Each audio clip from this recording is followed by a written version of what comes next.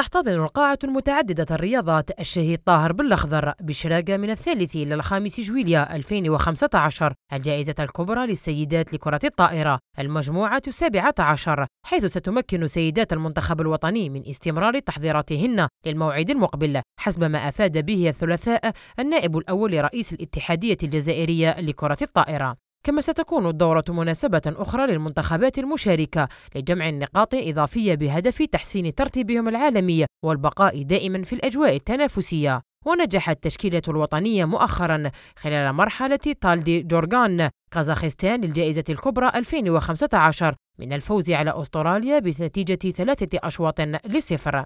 وحسب الأصداء من الاتحادية الجزائرية لكرة الطائرة فإن سيدات المنتخب الأسترالي متواجدات بالجزائر حيث عادت مع المنتخب الوطني إلى العاصمة يوم الاثنين الفارط من أوزباكستان بينما برمج مجيء الوفدين المكسيكي والكيني الثلاثاء.